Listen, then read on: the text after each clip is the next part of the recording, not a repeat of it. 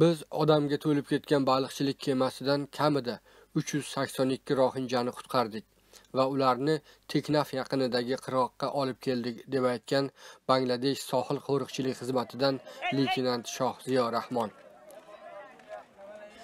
Kemaga o'tirgan 400 tacha rohinja qochqini Malayziyaga yetib olmoqchi bo'lganlar.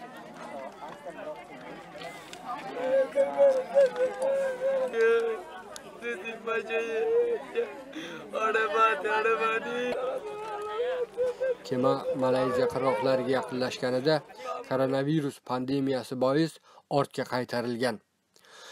Qochqinlar Malayziya dengiz chegarachilari kemani 3 marta ortga qaytarganini aytishgan. Kema 58 kun dengizda qolib ketgan. Qochqinlardan kamida 24 nafari hayotdan ko'z yumgan. Tunda Bangladesh sohiliga olib kelingan kemadan tushganlarning aksari sillasi madori quriganini ko'rish mumkin.